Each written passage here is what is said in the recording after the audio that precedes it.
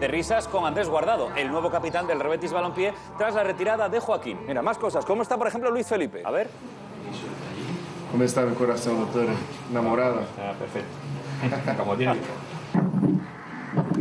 A ver, a ver. Oye, suena eso fantástico. Sí, Espectacular, sí. espectacular. Se ve desde luego espectacular.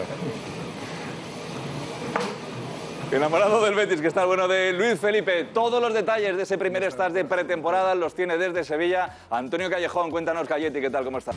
Bien de prensa en la primera pretemporada sin Joaquín. Comenzaron los chequeos para ver que todo está bien. Muy importante el corazón. ¿Cómo está mi corazón, doctor? Enamorado. Ah, perfecto. Como tiene que. Así suena el corazón de Luis Felipe, enamorado o no. Espectacular, ¿no? Espectacular, espectacular. Se ve desde luego espectacular. Al mismo tiempo, Fekir en la bici sigue poniéndose a punto tras su lesión. Un día menos para volver y muchas risas con Guardado. Buena noticia para todos los béticos.